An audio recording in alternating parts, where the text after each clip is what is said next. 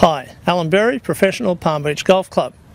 On a Wednesday we've introduced the ladies teaching clinic and I have Tiffany Mika here who does all the work and she's absolutely fantastic. So I'm just going to ask Tiffany a few questions about the ladies clinic. So Tiff, can you just tell me a little bit about the clinics that you're doing? And no smiling please, this is very serious. very serious. yes. okay.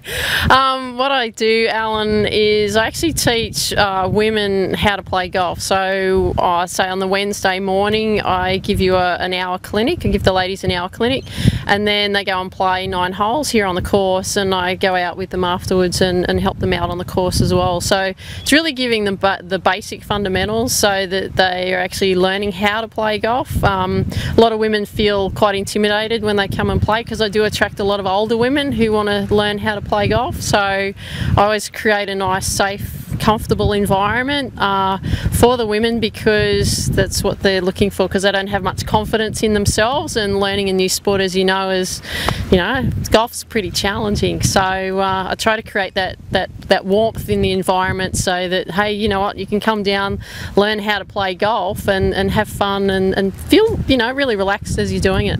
That was great. I never thought you were going to finish then. That was fantastic.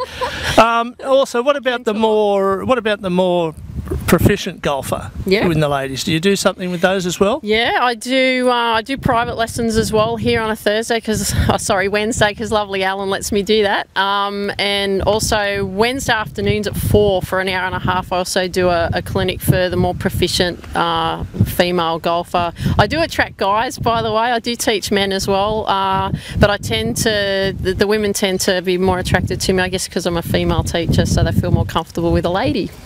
Well, I, I generally tend to attract the male golfer rather than the female. So, no, Tiffany is a great benefit down here. So, if you are interested, please contact me in the pro shop and I'll give you Tiff's mobile number. You can give her a buzz and you can get yourself started. So, please enjoy your golfing. And thanks, Tiff. Pleasure. Thanks, Alan. Thank you. See ya.